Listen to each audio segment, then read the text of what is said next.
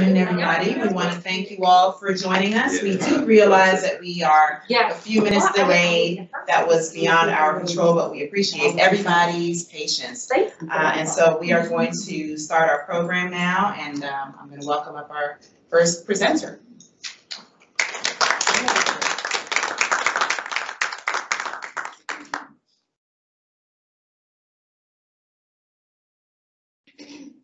Good afternoon, everyone. My name is Dominique Gibbs. Um, I'm a student at Coppin State University, currently in the social work program.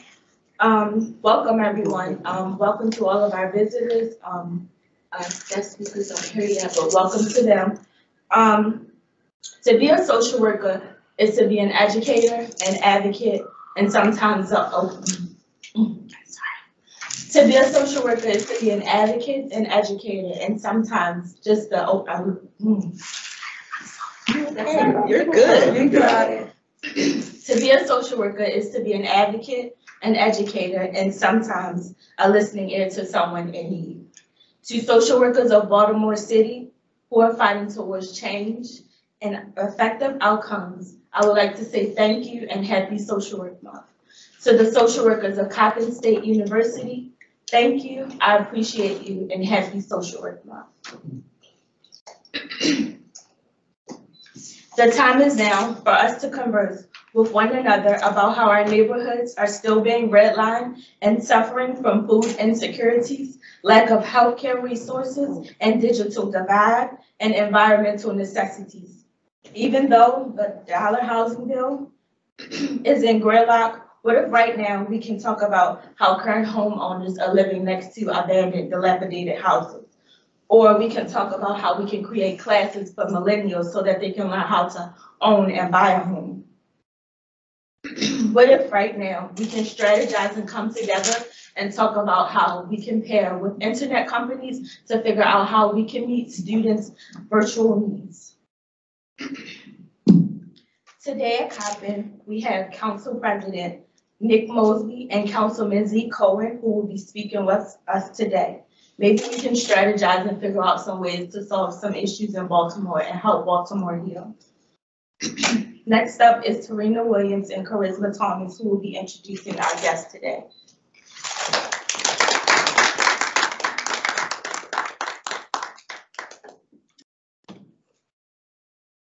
Thank you so much, Dominique.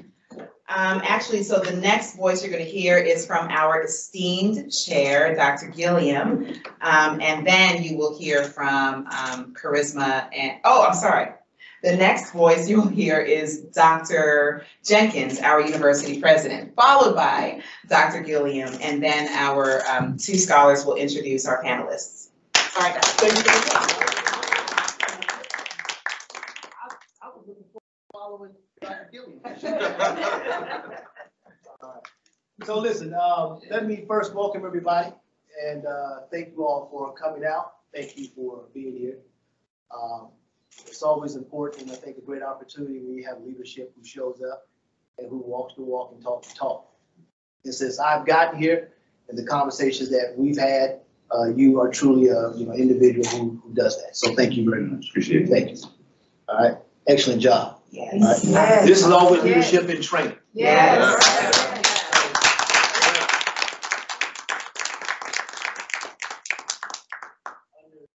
And that, to that tenacity,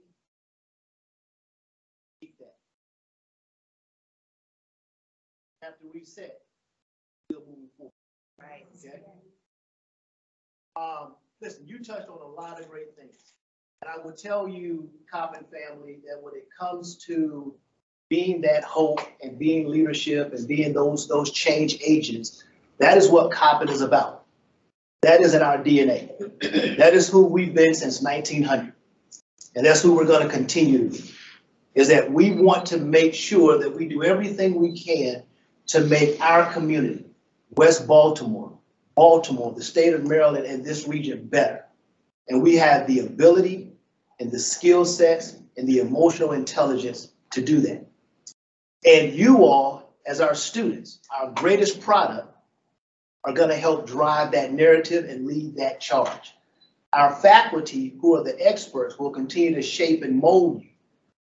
our elected officials are going to partner with you. And so everything that we do is inextricably linked. Not one person walks alone, does it alone, and gets to the end by themselves. That's not the way it works. So with the West North Avenue Authority that we will be overseeing here at COP, it's gonna play a significant role in our reimagining the West North Avenue corridor. It's going to allow us to look at home ownership and look at entrepreneurship and look at those things that the individuals in our community deserve and should have a right to, just like everybody else, right? And so that they're not living next to dilapidated homes. And we are going to work to do things to bring down crime and increase the actual high school graduation rate and the college going rate and the quality of life, right? And you say, that's a lot. Well, that's why we're in this business. That's why you're going into social work, because you are about change and changing the quality of people's lives. Today, I hope that the conversation lends itself, as I'm sure that it will, to talking about some of these strategies and solutions. And just getting us to think either more critically or in a way that we may not have thought about previously, right? Not one of us have all the answers. Together, we are powerful. We are. There is nothing we cannot accomplish if we work together. Put aside our differences, focus on the bigger picture. The bigger picture, students, it's not even you. Because you have beat so many odds. You are on your trajectory. It's about those who are coming behind you, right? Who need the same hope and the same mentoring and the same support and the same guidance and pathways that you will afford. So everything that you do moving forward is about paying it back, right? So I don't ever want you to lose sight of that. Whether you stay in social work, whether you go into politics, whether you open up your, your own company, right? Whatever it may be, always know that you're doing it for a bigger cause than yourself. Because life is about making change for the environment around you. And that's what I always want us to challenge and make sure that we never lose sight of. Today is going to be a great conversation. And I want to challenge you all to keep this conversation moving even after today is over. Take it back to every corner you return to. Challenge your friends, challenge your space. And as I always say, Eagles, always make every environment you enter better than when you found it. All right? Dr. Buckley, thank you for the opportunity. I greatly appreciate you. Thank you. Okay? And now we will hear from the esteemed Dean Beverly O'Brien. Roger, if you- If you look close, you'll, you'll, you'll see she's actually levitating up here. Thank you so much. Well, what an honor to be introduced by the president on Women's Day. How, how very, very. Thank you very much. Thank you. And welcome everyone and to everyone on, I'm looking at how many people are on the screen. This is indeed wonderful. And um, I, I have to say on the, on the, tail end of the president's remarks about what you're learning in social work and where you're going, for those of you who happen to have been on our professional conversation series stay. And uh, Cy Wainwright spoke last week, who's a graduate from the social work department. And she did exactly what Dr. Jenkins just talked about, was in our series is about life after Coppin. What do you do with your degree afterwards? And Cy, who has always been a very straightforward speaker, hasn't changed one bit. She is still totally straightforward. But she talked about all the skill sets you have learned, and whether you're in social work or politics, this is where today this conversation is about Baltimore City and the state of Baltimore and how much you have to give back to it. And um, the skill sets that you're learning are, are just so applicable to so many other settings. And I hope that you will continue to do that. And whether you set or reset or reset three or four, or five times, you keep doing that because that's what we all do in order to, to advance ourselves. And so um, I'm very pleased that we're having this conversation. So nice to see you Great again, see you this, uh, twice in, uh, in four days, three days. So, but uh, thank you so much for all of you for attending. Thank you, so Department of Social Work, our always, always proactive department.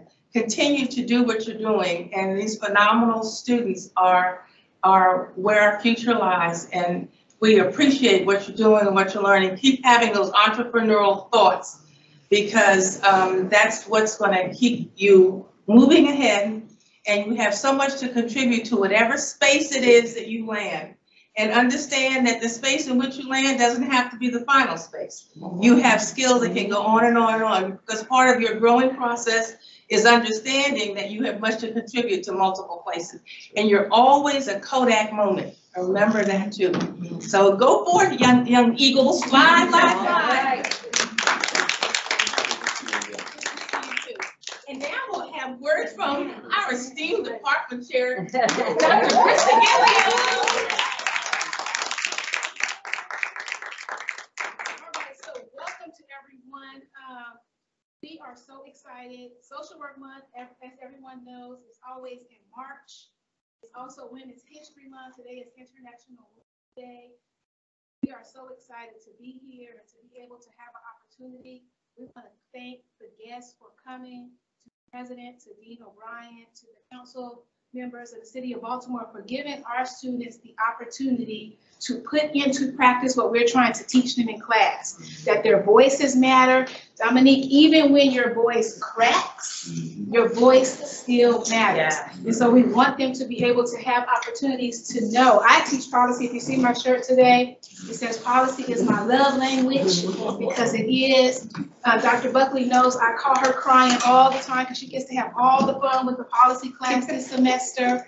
Um, and so I'm very excited about this opportunity for students to actually have an opportunity to experience what it is that they're learning in class. That council member Zeke Cohen is a real person, even though they have been practicing how to say his title and how to say his name, that he is a real person uh, who had a real job and a real life before he became a council member who was actually accessible. And so that is something that we want students to be able to experience. And so thank you for this uh, opportunity. I know Charisma and Tarina have been practicing, so now is your big moment. And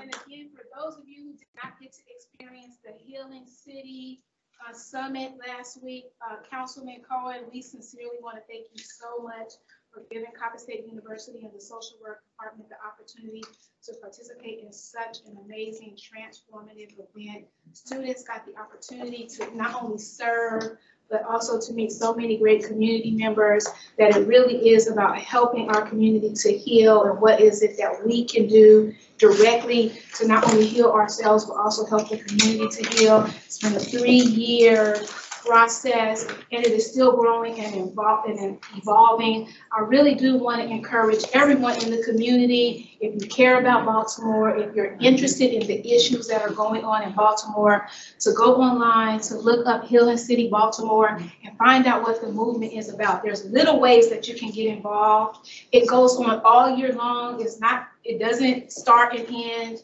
Uh, last week is an ongoing event. Our students have had opportunities to serve in many different ways. We have alumni who continue to serve. Yeah. So I really do want to encourage everybody to not only sit at the news and talk about what is going on, but do what we try to teach our students to do, which is actually get involved. So without further ado, Trina, you're ready. Charisma, you're ready. All right.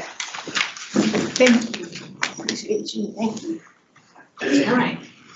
Good afternoon, Coppin faculty, students, and guests. My name is Serena Williams, and I am a proud Coppin State social work student. Yeah. It is my honor this afternoon to um, Council President Nick Mosby. He is en route, but I will continue. Um, As a husband, father, leader, mentor, professional and public servant. City Council President Nick Mosby has never forgotten his humble beginnings and will never turn a blind eye to his, to the people of his city and community. As a native son of Baltimore City, Mr. Mosby graduated from Baltimore Polytechnic Institute and went on to study electrical engineering at Tuskegee University. Upon receiving an engineering degree, Mr. Mosby returned home. And in 2011, Mr. Mosby ran for city council and as councilman, created and ran a mentoring program for juveniles waiting trial as adults. He also passed legislation banning the requirement of criminal records on job applications, as well as introduced and passed legislation stopping liquor stores from selling merchandise to minors. In 2015, throughout the Baltimore City unrest, Mr. Mosby argued that the rioting was the result of years of, of years of neglect of Baltimore's youth, lack of employment opportunities, and poverty that led people to fend for themselves in unproductive ways. Mr. Mosby took his fight from Baltimore City Hall to the Maryland State House in 2017, where he was appointed to the House of Delegates in the Maryland General Assembly. As a state delegate, Mr. Mosby successfully passed legislation to allocate millions of dollars in financial aid for GED recipients, enacted fair hiring laws for formerly incarcerated citizens, ended the draconian practice of taking property based on late water bills, and strengthened Maryland's historically black colleges and universities by creating tax credits to increase endowment. Mr. Mosby successfully won election in 2018 to the House of Delegates, where he served as a member of the Ways and Means Committee and chair of the Election Law Sub- Subcommittee. As council president, Mr. Mosby looks forward to continuing to advocate for Baltimore City residents and pass meaningful legislation that will improve the lives of our residents. He is a proud member of Omega Psi Phi Fraternity Incorporated, and he worship- worships at New Psalmist Baptist Church of Baltimore.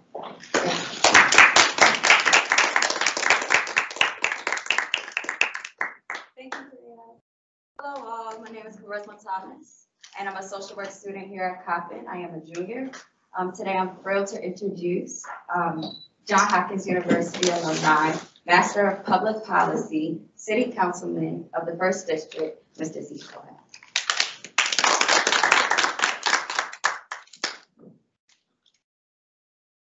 Right here. Sure, um, I just saw Council President, um, pull up.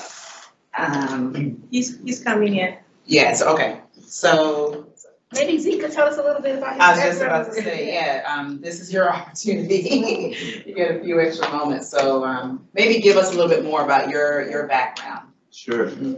Um, so first off, really appreciate you all having us here today. Um, President, Dean, um, Dr. Gilliam, Dr. Buckley, uh, students, it is really an honor to get to be with you all. Um, we have, for the last three years, except for one year when we were virtual, come here, as you know, to do our Healing City Summit Community Day. And I gotta say, I went to both Goucher and Hopkins, but I consider myself a Coppin, Coppin guy at heart. So I appreciate.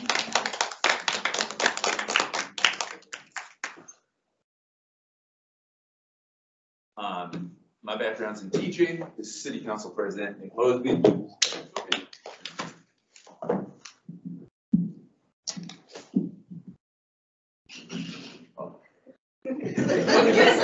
I'm good, it. So before you get settled, and before you finish, I unfortunately have to go, but I would love to get a picture of you all, and you, Dr. Buckley, and Dr. Gilbert, if you would.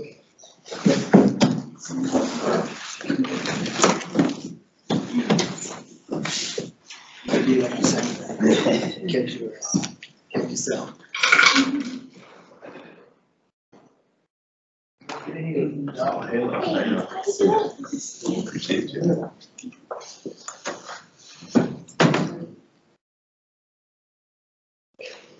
One, two, three.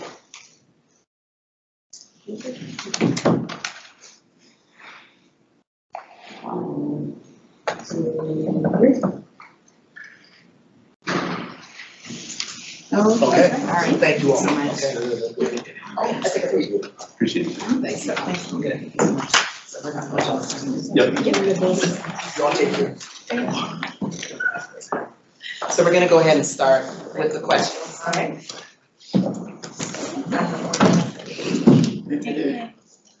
Council President Mosby.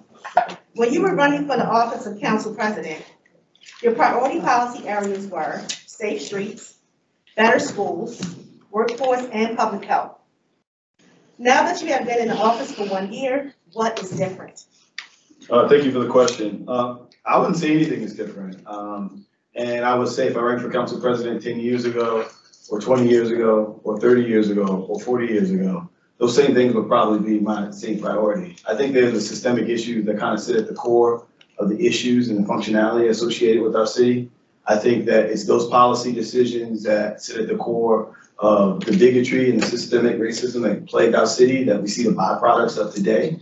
Uh, and I, and, and I think that, again, the residual effects that we see of the crime and the grime and the blight when we turn on the news or open the newspaper is from all those different reasons. So, uh, I think that, you know, we're faced as leaders with, are we gonna really tackle it? Are we gonna go outside of the box and do unconventional things? Or we're gonna continue to double down on the same failed policies and approaches that we've taken in the past? And, um, so I would say I would take the same, the same exact approach, uh, that being my core competency as it relates to trying to be, um, the best council president for the city of Baltimore as possible. Thank you.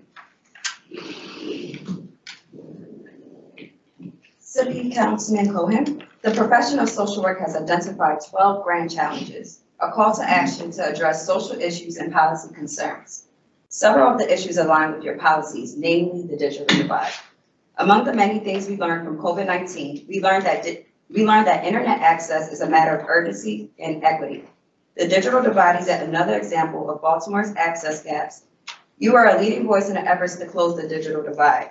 But the, and but the inequity is still evident. Mayor Scott pledged thirty-five million to close the digital divide and name neighborhoods here in West Baltimore that receive hotspots. Many of our students and neighborhoods continue to experience lapses in access. These challenges eliminate the legacy of racism and classism in Baltimore City. What can immediately be done to ensure access to all? Yeah, so first off, thank you for the question, Charisma. Um, so for those that are not familiar, the digital divide is the divide between folks who have internet access and those that don't. And we know that in the twenty-first century economy, uh, even during this pandemic, our entire education system, folks needed the internet. Um, we needed the internet to get kids online to learn. And so this became a real, the, the fact that Baltimore has this massive gulf between people that have access and people that don't was a huge problem, but during the pandemic became an absolute crisis because we saw kids unable to learn in school. We saw our seniors unable to connect as they were isolated. And we saw entire populations of people that had just been left off the digital map while many of us were able to get online and surf the internet. This has been a long-standing challenge in Baltimore City.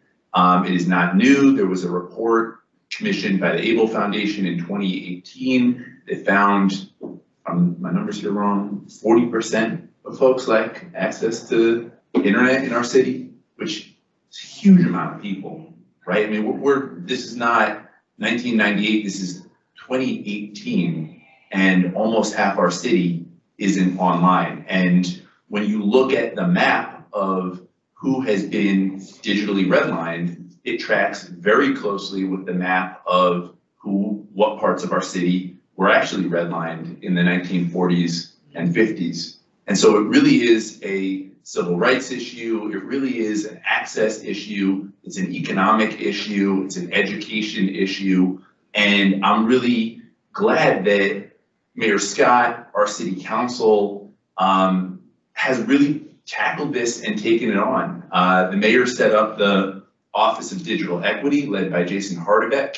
That is an important step in the right direction. He is really focused on building both sort of hubs around here in West Baltimore and then really thinking deep about municipal broadband and what it would mean for the city to support internet access for folks. And so right now, in terms of what can immediately be done, what I would say is to plug in with the, there's a lot of digital advocacy happening. Um, the Baltimore, uh, Digital Equity Coalition is one group that I think is phenomenal. I would say for all the students, if this is a topic that you're fired up about, get involved with them. They're really pushing in a healthy direction. And I would say that in the next couple of years, this is a real make or break moment for Baltimore where we gotta start laying down the fiber and we gotta make sure that the folks who do the work are Baltimoreans and that we're supporting our own workforce and not outsourcing those jobs as well. So that's what I would say right now is get involved with BDEC, they're pushing a good agenda and make it happen. Serena, hold on one second. Um, thank you so much for that response. I just want to ask Dr. Gilliam, because part of the question was certainly about students and their experiences. And, and of course, since we've returned to campus, we have seen and felt the challenges of that digital divide. Um, so Dr. Gilliam, did you want to offer anything? I guess one of the, the comments or thoughts is, where do college students fit in this? Because we did experience, as a result of COVID, the number of students that don't have digital access, whether it's um, working internet or the expense of buying extra technology in order to access classes. Um, and, and I think in particular, when we talk about students of color, students at HBCUs, like the disparities are wide. Talk about the HBCU lawsuit, and again, the students who are most disenfranchised tend to be our students. So where do college students fit in? You know, there's a lot of talk about K-12 education, but there's also a lot of college students in the city of Baltimore that constantly get overlooked in this process. Yeah, no, that's a great point, uh, Dr. Gilliam. And, and I do notice that we've got this hybrid going on right now, which is really neat. Um, I want to say that. And most of uh, them depend on phones to do everything, mm-hmm. which is not mm-hmm. adequate to take a class in a lot of ways. Right, right, right. No, and I think that's a really important part of the conversation. I do think making sure our colleges, whether it's Coppin, Morgan, UB, Hopkins, that there's some real power here and pushing in and leaning into the conversation and you all making sure that you're at the table as we think about um, bridging the gap and closing the digital divide, I think is hugely important. And I do know that I think Coppin has been engaged in some of the work um, with the mayor's office of digital equity. Um, but I think it's a great point. We want to make sure our college students are able to access the, the, the technology and able to learn as everyone else should. And I think that you all have a unique power base right here to really push and help us get to the right direction. Thanks. Council President, did you want to jump in on that? Sure, I'll just add a little bit. Um, my background is in electrical engineering. Uh, I used to literally build, uh, data centers. And I think the one thing that is always missing from the discussion is not just the digital divide, but it's also digital equity, right? Um, to your point of, you know, students attempting to, uh, look at, perform, execute work on their cell phone as opposed to an actual computer, which was intended for.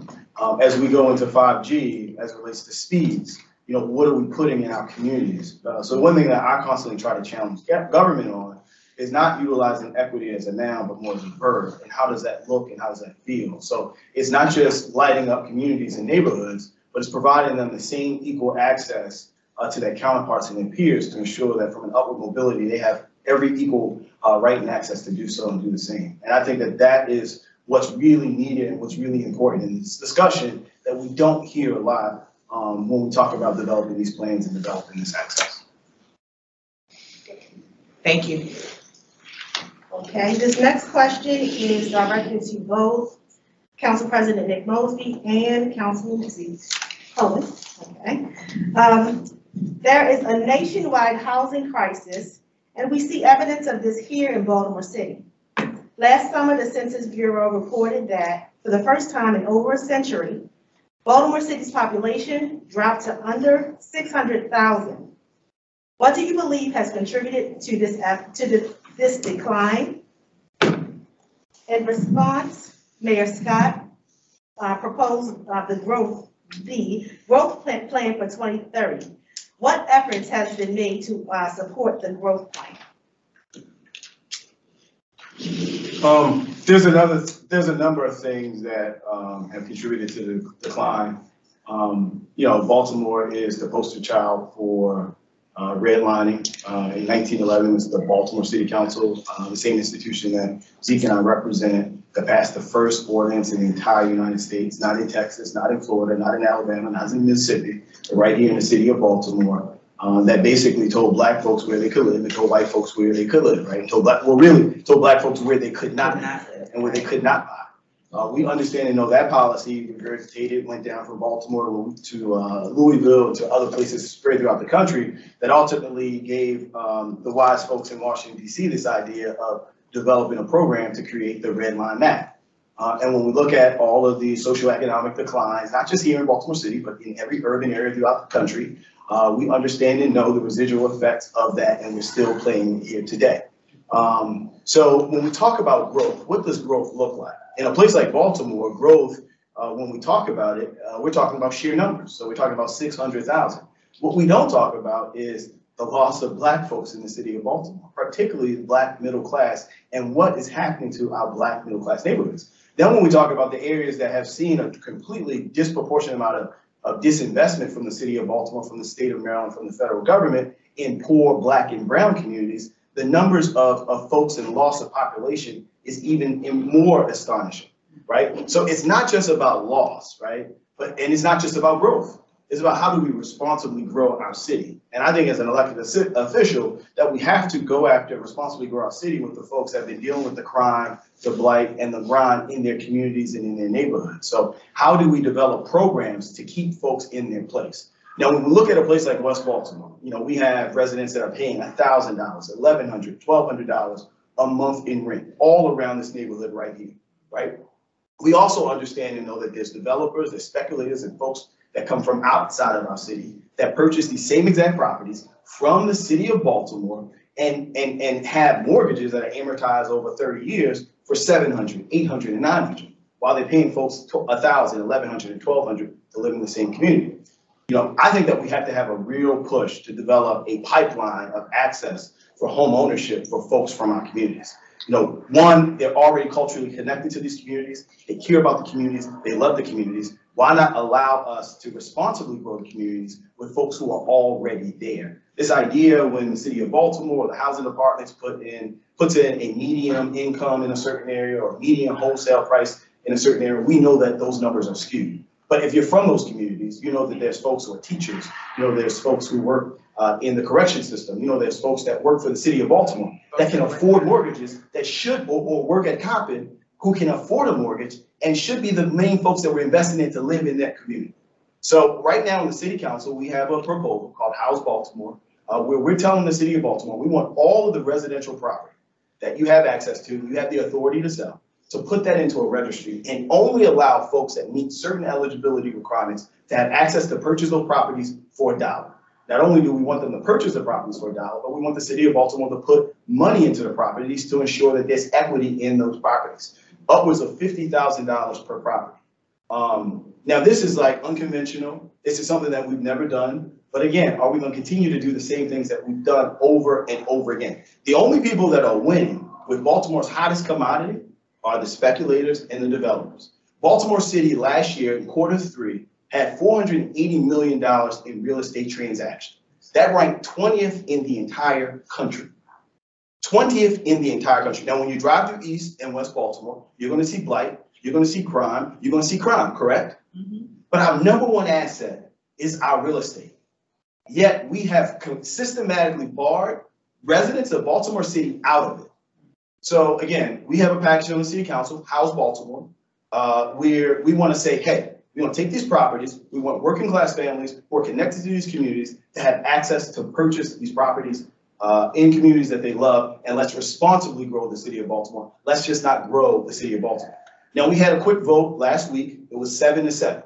So again, it's still unconventional. It's still a take back. So seven folks on the council agree to do this, and seven folks still have issues with this. But either we're going to continue to regurgitate the same issues, and we're going to see the same level of decline by the same characteristic of folks, and we're going to see certain communities grow while other communities uh, decline and folks buy up those communities, or we're going to take a different approach. I think Baltimore City is in a very unique position to not necessarily be some of the other metropolitan areas that have seen extreme growth over the past 15 years that do not look like the, the folks that have dealt with the issues, the crime, the grind, and the blight. Um, uh, and then lastly, you know, we can talk policy all we want. You know, we talk social policy, we talk, you know, changing this issue, changing this law. That is great, and we'll continue to do that. But until we have an economic paradigm shift in our community, we will will continue to chase the same issue over and over again for the folks who've been dumped upon for decades upon decades upon decades. I'm saying let's take a different approach. Let's develop an economic paradigm shift. Let's develop ways and access for folks to have generational wealth through real estate, which is historically and, and, and, and, and from an empirical perspective, a really solid foundation for folks to build a future on. And it's something that folks have always been barred out of. The reality is we have folks living in Section 8 today, we have folks living in housing projects or, or, or situations today that can trace their lineage and never had access to land ownership. It's astonishing. That's what this is about. So um, again, it's not just about growing the city of Baltimore. What I would say is how do we responsibly grow the city of Baltimore? I ask each and every one of you, look up House Baltimore. If you are, if you live in the city, if you're connected to an elected official from the city, I'll ask you to urge them, what are your concerns? What are your questions about selling houses for a dollar to folks from these communities that have been disproportionately disinvested in uh, and, uh, and growing the communities, starting with those individuals. Thank you, thank you. So the only um, piece in terms of some of the history that I would add is, in addition to everything President Mosby talked about related to our original law segregating folks and then other cities emulating that and then redlining. We've also had racial housing covenants barring um, both blacks and Jews and other groups from certain neighborhoods. We were prime victim of subprime lending in the mid, late two thousands. So where um, realtors would give out loans that were, uh, sounded great, zero dollars down, no payment for the first three, four, or five months, but then the interest balloons. And what we saw in places like Edmondson Village and across the United States, but hit really hard here in Baltimore was a ton of folks go into foreclosure and a ton of wealth get lost primarily in black neighborhoods. Um, as President Mosby suggested, um, I do think there are some real opportunities and some bright spots that we've seen. Um, I would also encourage folks to look at some of the work that's been done by Rebuild Metro in Johnston Square in Greenmount West, um, really focusing on how do we develop through the lens of community organizing, thinking about those folks in the community who have trust and have built relationships. How do we go block by block by block and bring folks back together? Because what they've shown in those neighborhoods is a decline in vacancies. And then, guess what? You all know the answer to this, but a decline in crime, a decline in all the other things that we don't want to see. Um, so, you know, I think that Baltimore is, uh, as the president suggested, at a cross at a, at a cross juncture where I think all of us can either decide, do we want to be DC in 15 years, where like the housing market went crazy and folks who had had homes in Southeast DC either were not able to stay in them, um, folks who were renting got pushed out of the city, or do we want to do it in a way that's, as he said, responsible and thoughtful and gradual, and that is able to keep people who have made the the big investment, put in the sweat equity, put in the, their lives, their life's work into our city to retain those residents right here. So can I, can I ask a follow-up question? In addition to, um, increasing home ownership, and it's just a follow-up question because there's one in the chat. In addition to increasing home ownership, how do we increase development that's responsible development? Kind of like what you said, where we have businesses that are coming back into the community. The comment says food deserts. I don't subscribe to food deserts. I do believe that it is apartheid, that it is policy that dictates what grocery stores are in what neighborhoods, and it is des- designed, not made by God, but made by man. So how do we get other development into neighborhoods that we know is vital to a neighborhood's survival? Shops, restaurants that are owned by members of the community, that it's not corporations coming from out of the country, out of the state. How do we develop a neighborhood? And you talked a little bit about community organizing, and you touched on some of the other neighborhoods that are doing it. How do we do that for a neighborhood like West Baltimore? Coppin is an anchor institution, and we're trying to do it here. We've been here for years, but we have a hard time when we want to go to lunch. You know, there's very few places for us to go to lunch without having to get into a car and drive to go to lunch. Uh, so what are some other things that we can do to attract the types of businesses in addition to homeowners to a community? And what do you recommend for students who are thinking about community organizing? You answer, you answer? Yeah. You go. So one thing I would say that I'm really excited about for Coppin, um, I think the president had mentioned it, um, is the West North Ave corridor and the development that's going on there, um, with Senator Hayes and Councilman Lee Torrence. Um, I think that's really, really, really exciting, just to see that kind of like targeted investment. Because you're absolutely right, Dr. Gilliam, this is a major asset for our community. And I think we have not always treated Coppin as such. Um, Dr. Buckley and I have had a lot of conversations about why so much energy gets poured into Johns Hopkins or some of the University of Maryland system, or even sometimes Morgan State. Um, but Coppin has not gotten that kind of love. And so I do think that the work that you all are doing, frankly, that you all are leading, um, to bring public resources, public dollars, public infrastructure to West North Ave, I think is critically important. And I think that that's, um, that's sort of where it has to start. We have to target, we have to invest, we have to really invest in human capacity. The people that are on the ground, our students, our faculty, um, folks who are in community, who are organizers. To me, that's how we build stronger, safer, healthier communities. That's how we get the grocery store that we all want. That's how we get the parks and all the green space. Um, to me, really does come through organizing. That's where I've seen it succeed in Baltimore. And I think making sure that policymakers from Baltimore to Annapolis to Washington DC are making sure places like North Ave, the communities around Coppin are getting their fair share. Because the reality is that so many federal dollars, and I say this as someone who represents a community that has benefited from a lot of state and federal support, um, have not gone into West Baltimore. And they should, if we're ever gonna talk about real equity and having a city that is whole and that's not continuing to hemorrhage residents. I think that kind of movement is critically important, and I'm really glad to see it happening and proud of you all for leading us and leading it. I'll just, I'll just quickly say, if, if you told me that there was a community, uh, with a four-year university, uh, with one of the most amazing urban parks in all of America, uh, that had, uh, extreme amount of accessibility, uh, to the mass transit system in the area, that had the richness of culture, history, uh, as West Baltimore's area, uh, and you showed me the statistical analysis and conditions of our communities, I would be again astonished. And the reason that has become normalized in a place like Baltimore is because simple, it's the privatization of whiteness, right? And until we're, we're comfortable and not using equity again as a noun, but more as a verb, right?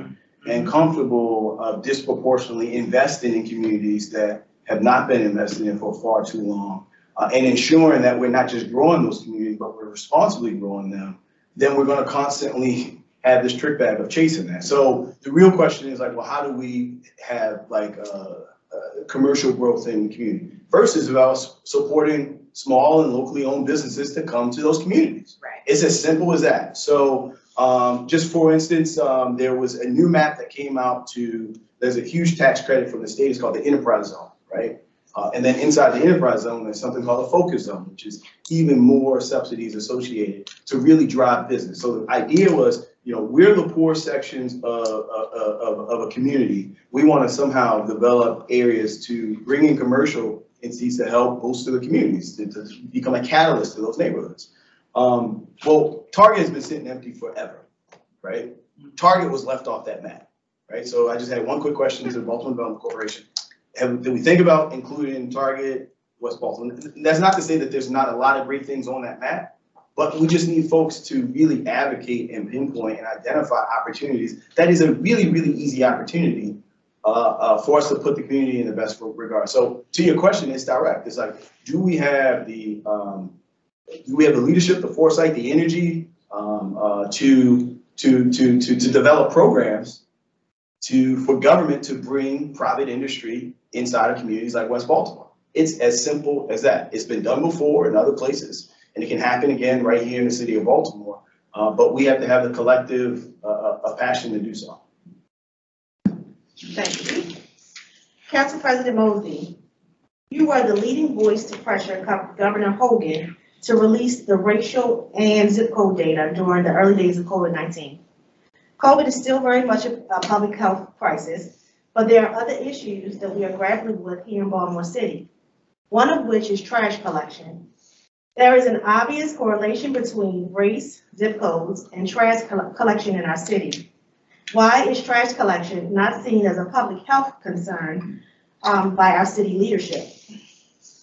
Again, I'm gonna use, the- utilize the term privatization of whiteness, right? So, uh, I would extrapolate that further out than just not trash, but just like environmental justice. Yes. Uh, when we look at the normalization of lead paint in our communities, right, uh, and the fight that ha- occurs every single day, uh, down in Annapolis, the fact that the manufacturers of this lead paint that knowingly targeted places like Baltimore City, it's all through their books, it's all through discovery. Um, that Baltimore City was high on their list of where they were selling it to our housing authority that ultimately painted all up, bus- a lot of our city-owned buil- buildings of the like. Um, you know, and we still never gone after them, uh, for, for the, for knowingly, uh, uh, putting that in. So I just think when we talk about environmental justice, that's always been an issue, uh, in black and brown communities and, and, and socioeconomically deprived communities.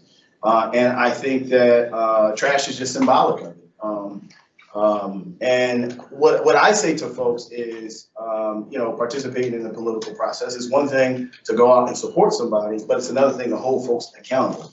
And I know I'm not speaking for myself, I'm pretty sure Zeke will say the same thing. You have to hold us and, and all of our colleagues accountable. So when we see that there's a disproportionate amount of, of, of, of services that are being provided to certain communities, you are our eyes, you are our ears to, to elevate that, and ensure that we're pushing for those services. Uh, the one thing that the city council is there to do is not only, you know, pass policy and legislation, but it's also to be a conduit uh, for um, constituent concern and services. Uh, and um, when we talk about not just trash collection, but we're talking about accessibility to recycling. And what are we doing to engage our folks through recycling? Um, you know, when you strip away two a day from trash, right? And you make it one a day, Yeah. right? Uh, in alleys that already had illegal dumping and already had other issues, again, the disproportionate amount of, of, of disinvestment in those services, you're only going to extrapolate uh, uh, um, uh, the, the, the issue uh, right there. So um, uh, exponentially. So uh, I think that that's up to us, and it's important to have these discussions and be honest about those discussions as we continue to push uh, that narrative forward. But again, what does equity look like? A lot of people are talking about equity. What does that look? What does that even mean? I mean, you can utilize that term and be so ambiguous in the use of it that at the end of the discussion and at the end of your policy, it means absolutely nothing. Uh, so how do we uh, uh, uh, create that into a verb and not just a noun in the city of Baltimore? And I think we've done a really, really good job of utilizing it as a noun and an absolutely horrible job of turning it into a verb and, and through policy and through our actions. Um, thank you for that answer. I just want to follow up really quickly. And of course, we only have about ten or fifteen minutes um, remaining. But what I heard you say just then, it sounded like we, the constituents, need to do more to hold you all accountable. Well, we pay taxes. And somebody in the chat box um, uh, is asking a question in relation to taxes. It feels exhausting, right? So, like, I literally sold my house and bought another house in the city because I was tired of organizing block cleanups and paying high taxes. So I think the question is still there, like, what can be done? Why do we have to, like, I hate rats, everybody hates rats, but I'm afraid of them. Like, what can be done? We don't need to cut back on the frequency of this service. We need an increase. We need help, for God's sakes. No, I'm with you. Uh, and I think as elected officials, we just have to, we have to, one, appreciate the fact that you're exhausted, right? And the fact that you're exhausted, um, is really a symbolic representation of what the problem is and what the problem intended to do. Um, And then Because, also, hold also, on, because, because folks are not only exhausted, they're frustrated, um, they feel disenfranchised. Mhm. Um, they feel like being part of it, whether it's going out to vote, whether it's picking up their phone, calling their, uh, a, a representative, whether it's being engaged on a city council meeting, they feel like none of that even matters, right? Right? And, and, and as elected officials, we have to appreciate that because that is a reality. Um, you know, if, if something, if a system didn't work for your grandfather and it didn't work for your father, Mhm. how can I report to you that it's going to work for you as long as you do the same thing that they've done? Because they were there, they, they, they voted, they, and this is the issue that we're kind of coming up to. It's, it's the, it's conflating the, the, the, the, the, the failed policy, uh, the lack of interest for certain communities to the realities of where we are today. And that falls on, on, on the backs of our middle-class folks. So again, when we take a step back and we look at the data and we talk about our census, there's a reason that we have a huge decline of middle-class black folks in the city of Baltimore.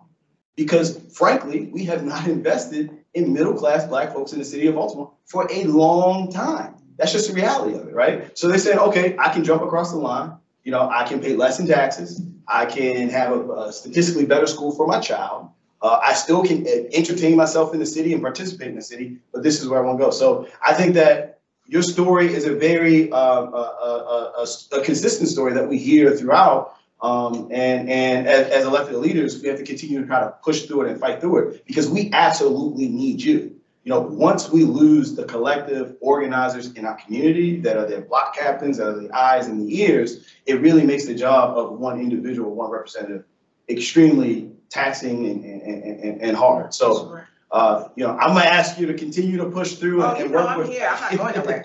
But it's just, it's, it's, it's tedious and it's taxing, and, and then also, I think what's important is I recognize my privilege in being able to say, I'm just gonna sell this house and buy another one.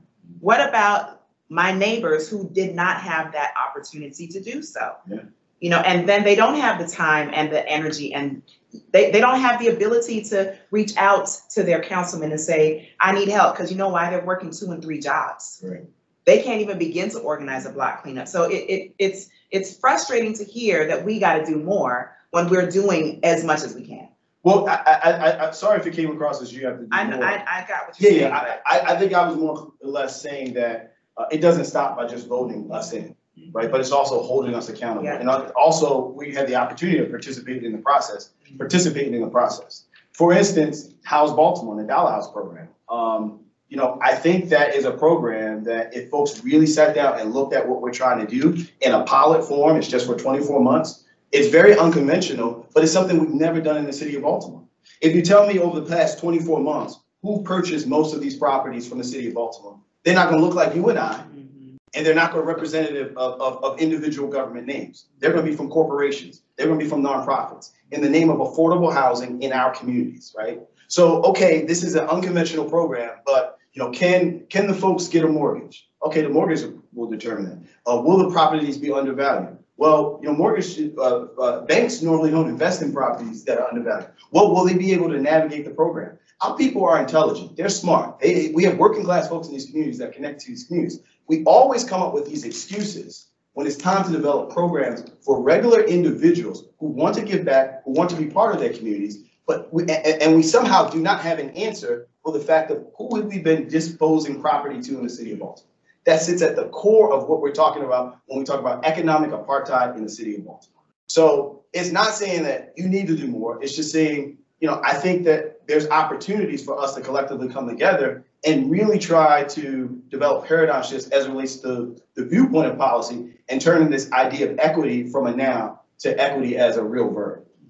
And I, I just want to add too, and I think it's important bringing it back to the students and really getting them engaged in this process sooner and earlier, because most of us don't learn any of this until you're ready to buy a house. Mhm. All of the steps that you have to go through. You don't come from a family where this is the norm. So really trying to engage the students. We do an exercise in the policy class where students have to figure out who their representatives are. To me, it is one of the most comical assignments that we have because you would be surprised at how difficult it is for most of us to figure out. Students who live in the county will oftentimes think that Brandon Scott is their mayor. Mm-hmm. Because it's not that easy of a process to figure out who your representatives are, but it's our first dialogue to really start thinking about who their representatives are, how to reach them, can they reach them, can they write a letter, can they send an email, should they, shouldn't they, can they go down to city hall? So I also think starting these dialogues with the college level students and doing what you're doing today is important so that students know that they can start doing this process now, like they're voters now, they're not voters when they're forty or fifty. They can start now and, and starting the process so that when they actually really need to do it, um, they know exactly what it is to do. And they can start doing it now, because again, we start talking about student loans, we didn't even get to talk about our student loan debt and all of the other things that students are paying taxes for that they don't even get any of the benefit of.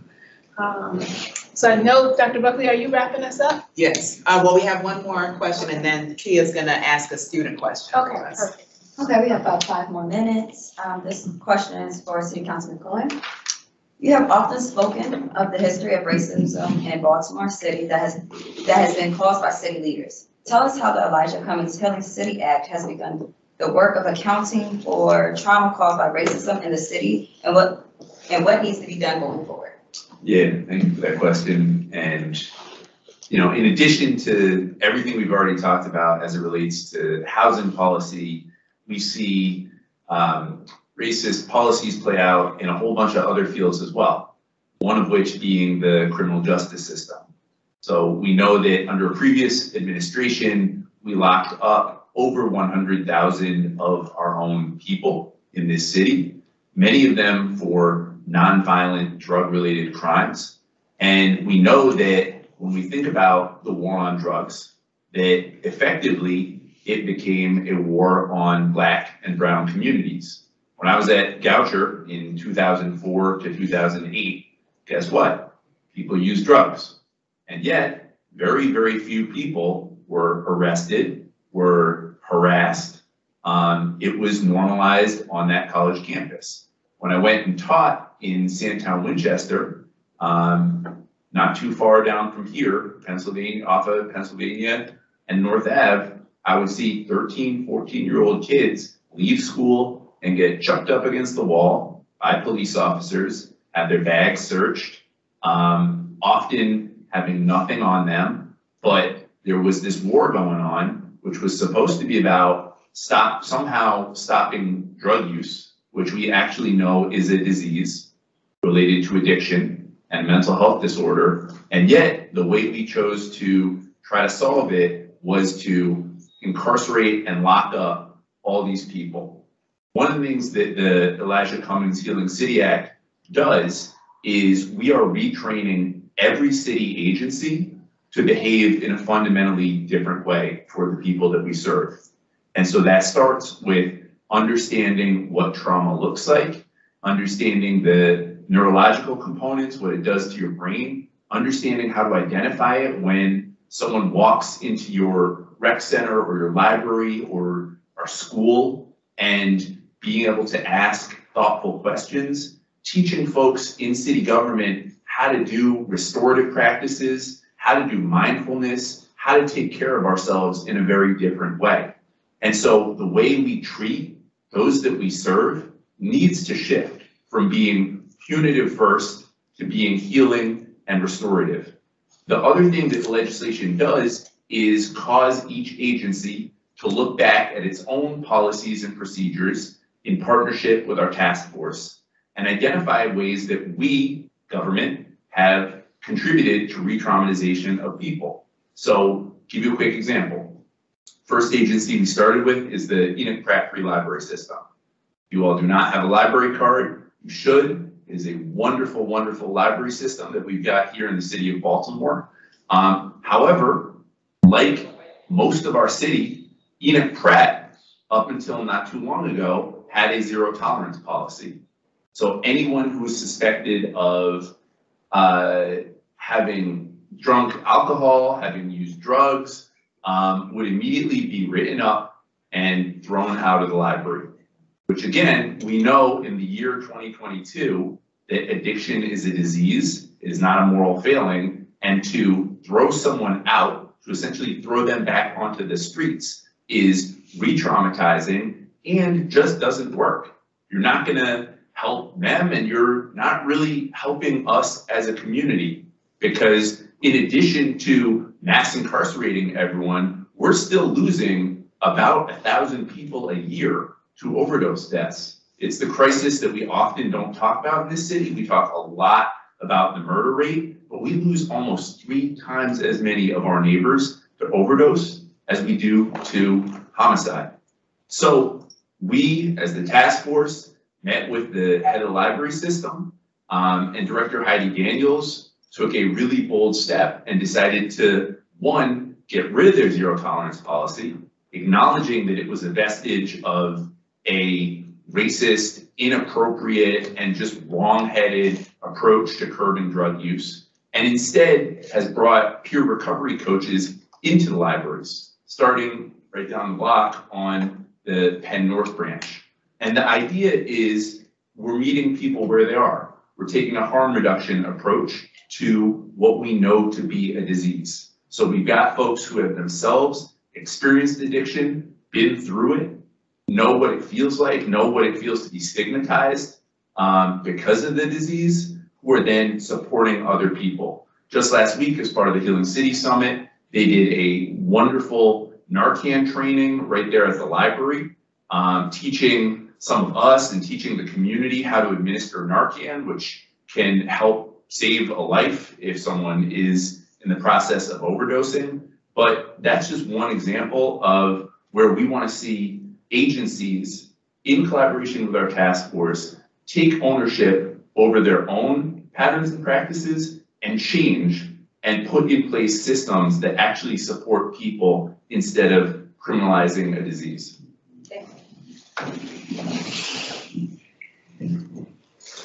All right, so we are definitely coming on down to the end. Thank you to those of you who are still online with us.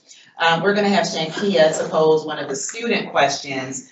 Um, there are some really, really, really great questions in the chat box, but we simply do not have time, but I want to bring attention to them.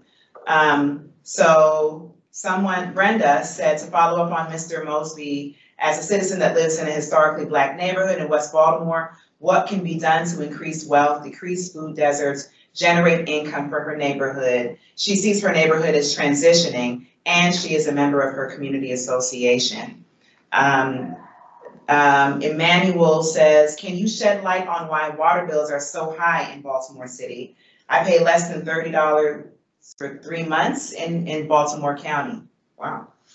I have a prop- property in the city, currently unoccupied, but pays thirty-nine dollars per month. My understanding is that the water for Baltimore City come, from the county, comes from the city. Um, somebody else says, is the best way to hold a representative accountable by obtaining a petition with many people and presenting that to the rep? For that one, I'm just gonna say, I think that depends on your rep. I was, I had Zeke as my former representative, and my current rep is Odette Ramos. Um, you don't need a petition to get through to these people, so, but if your representative only responds to a petition, you need to vote that person out anyway. Um, the last question here is statistics show that it takes twenty thousand to forty thousand to house an inmate. To educate a K through twelve person costs twelve thousand on average. We need to flip the funding so that our communities can operate, I'm sorry, so that our communities can compete and ultimately allow our country to com- compete on a global level? Uh, these are some really thoughtful questions, um, and I know um, that if we had time, that you guys would give us some, some knowledge and give us some, some keys to work with. But I think it's really important because we believe in empowering our scholars. It's important that we do um, create the time to hear a student question, and then we'll have our closing remarks. Um, so Shankia. Good day, guys. Um, I would like to thank you guys for coming out again. Um, not only, um, as a student of Coppin, but I'm also a homeowner of Baltimore City as well. So one question that will not only benefit me, but benefit, um, not just my communities, but communities as well. I'm curious about how can we hold businesses physically responsible for our communities? I noticed that we have businesses that benefit from our limited resources, but they do not contribute back to our communities. So what, what can be done about that? Uh, I think it's a great question. Um, you know, at the end of the day, uh, I think ha- having a business and operating a business in a community is almost a privilege of law for that particular area. That's why you have zoning laws, that's why you have certain requirements of how the business should function and operate. And I think, just like everything else, there's become a normalization of of just sheerly the lack of upkeep of businesses in our communities. Um, you know, particularly when we, when we drive around East and West Baltimore and we see our alcohol establishments uh, and the conditions that they're in, um, and we see other establishments and the conditions that they're in. Uh, I think that uh, it goes hand in hand with disproportionate, disproportionate amount of disinvestment when we talk about city services. Uh, so when we talk about um, citing these businesses, um, I would equate that to the same way of, you know, the lack of attentiveness to citing, say, a vacant property, right, for not being in the condition it should be in. So I think that we have to do a much better job, again, of providing those services through equity, right? Um, I think there's also opportunities through zoning uh, that we can hold many of our businesses uh, accountable that we have not done to date. Um, before I left the city council and moved to Annapolis, um, I actually had um, some legislation to look at it from a zoning perspective. We look forward to kind of bringing that back up and, and kind of pushing that. But I think that solely falls on government. Uh, and, you know, what are we doing to ensure uh, that these establishments are operating in our communities, uh, in all communities, uh, as a productive benefit to the community and not as an eyesore or unproductive uh, participant in some of the illegal activity that's participating in those neighborhoods. Yeah, thank you for the question. Um, I would only add a few things. One is, as residents, our power of the dollar can go a long way. So choosing where we, um, if you have transportation access, choosing where to shop and not patronizing businesses that cause blight and chaos in our communities, I think is really important. And then I would also say that, you know, I do think it is really important for us as elected officials to be aggressive in pushing those businesses that cause harm in our neighborhoods to not continue to do that. We know that we have a long history in Baltimore I mentioned subprime lending, and we had a, one bank in particular, we had several banks, but one in particular that was literally sending um, realtors into black churches. There's a whole Baltimore Sun article about this, um, and selling predatory, jacked up, terrible loans to people. Uh, that is unacceptable, and to her credit, the former mayor sued that bank and did recoup some settlement. One thing that we saw in the previous city council, um, we know, and I used to teach down there, that in Curtis Bay, there's an incinerator, and they, it has caused disproportionate health, poor health outcomes for that neighborhood. We see high rates of cancer, we see all kinds of lung disease and issues, and I remember when I taught there, just seeing entire families that were sick, and knowing that that facility where we incinerate trash contributes to people's illness right there in that neighborhood.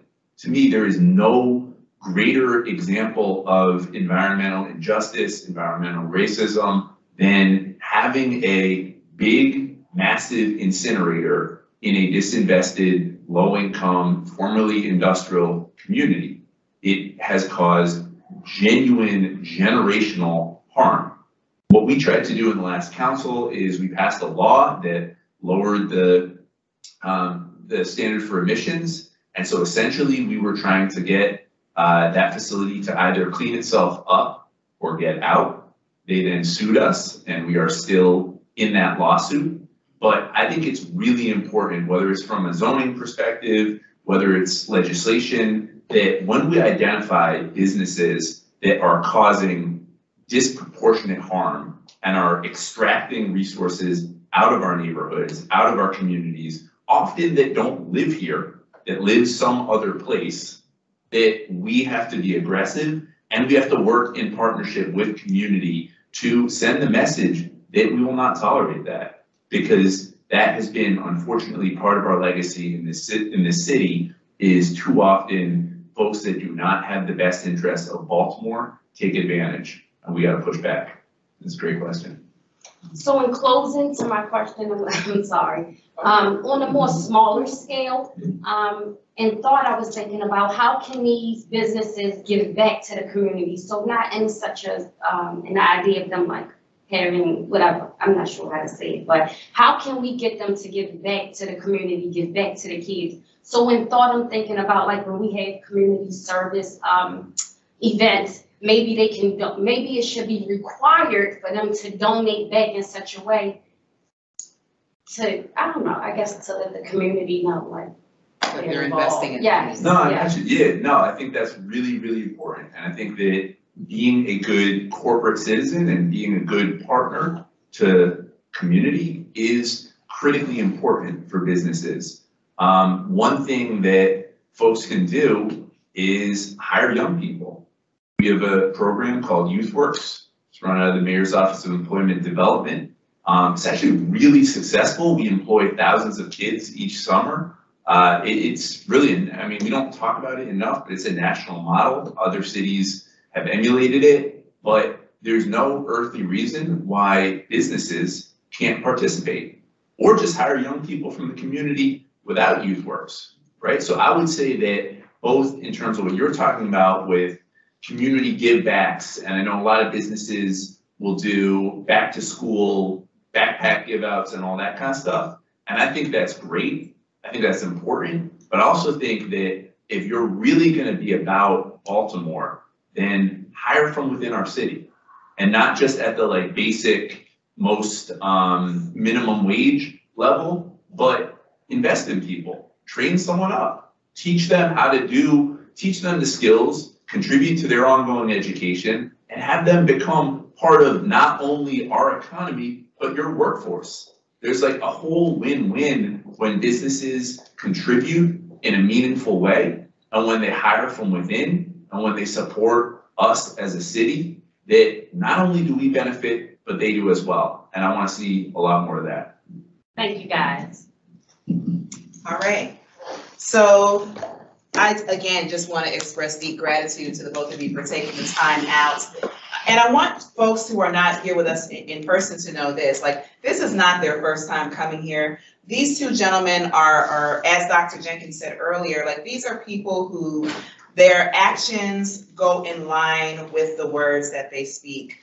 Um, uh, when we were just transitioning into the virtual space, Council President Mosby, he wasn't the president at that time, but he did join us um, in one of our classes to talk about COVID. And at that time, that's when we were all locked up in our homes. We were all afraid. We didn't know what to expect.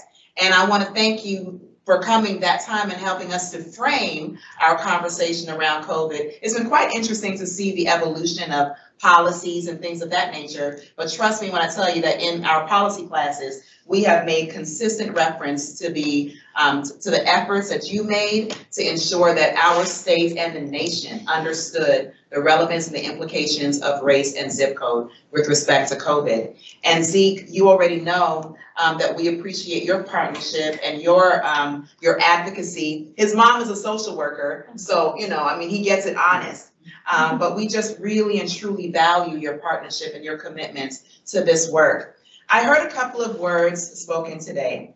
reset, strategize, critical thinking, partnership, move forward, pay back.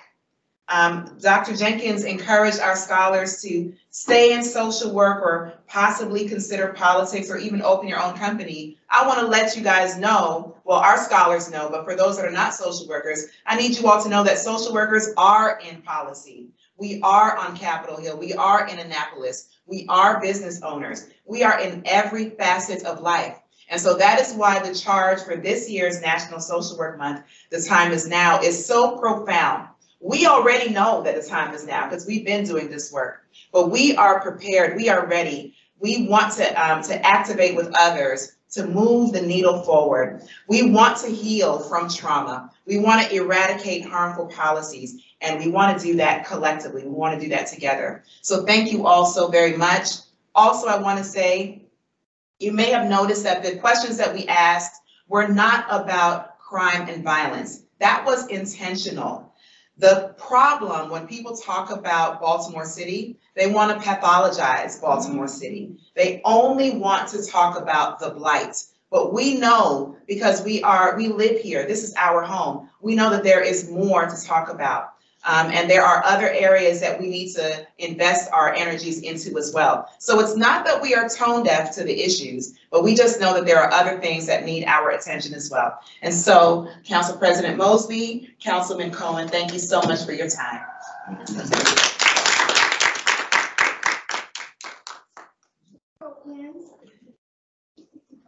On of the social work policy class and social work department, you get a board, right?